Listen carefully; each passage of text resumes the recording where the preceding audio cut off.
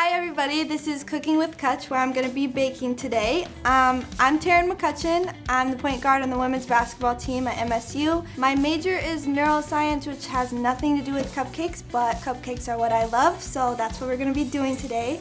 I've got my puppers here that are going to be helping me bake today. I've got some roomies and teammates here. I love wedding flavored cupcakes. They're super rich vanilla flavor. Um, I really want to bake wedding cake someday and this is the basic flavor that would be used in a wedding cake. In this recipe there is two cups of flour and it might get a little messy but if you're not getting messy then you're not baking right. See? I'm doing good so far. Okay, that's gonna be good enough. As you can see, it's not an exact science.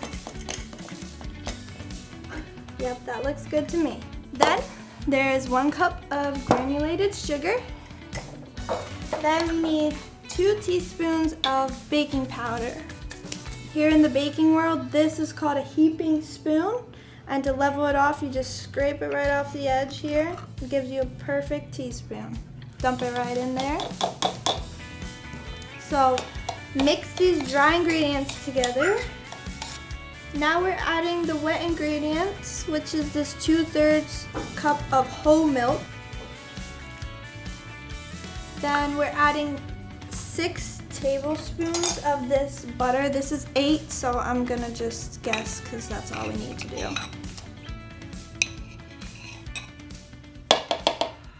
My favorite part, we add the extract, a whole teaspoon. My hand is shaking because I'm nervous because last time I did this, I dumped the whole bottle in there. Oh, two teaspoons, great, even better. Four whole drops of unicorn blood. One. Everybody now. Two.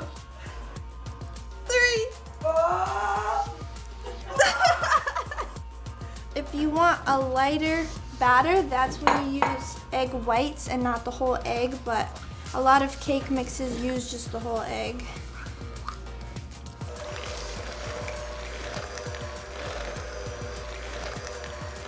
I just really enjoy it. I just like all types of art really. I see it as like kind of an art and I like drawing, painting, baking, all that stuff. It's just really fun to me. But my grandma, I remember I used to like, I used to bake with her and cook with her on Thanksgiving. It's kind of a stress reliever from basketball too.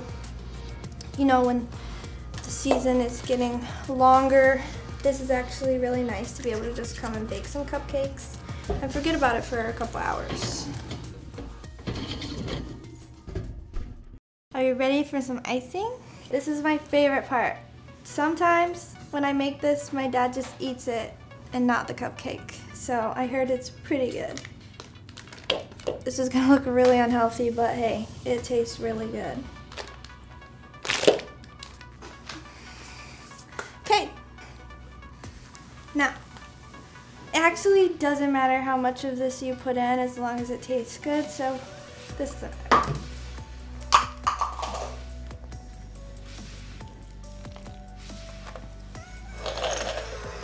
More powdered sugar. That's a lot of powdered sugar.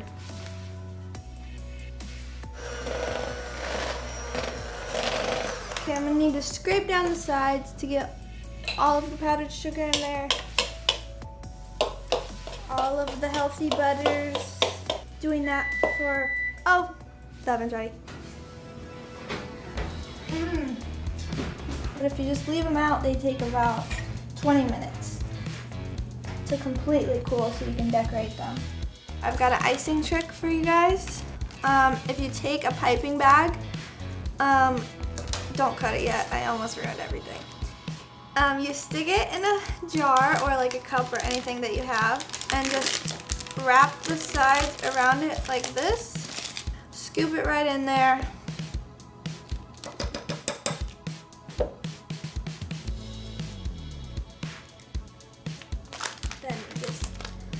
It down to the bottom.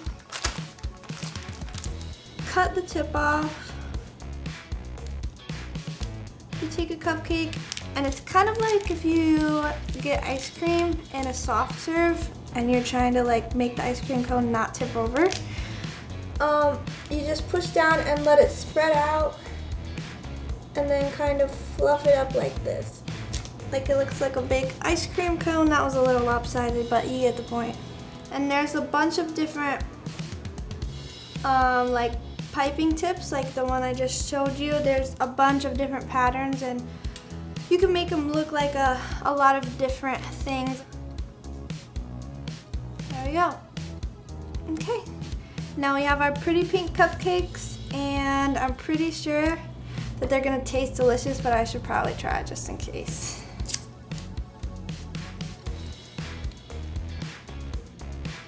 Mmm. All my other friends left. They had to go to practice, which is where I should be. I hope I don't get in trouble for baking instead. I got a jet. Thanks for tuning in.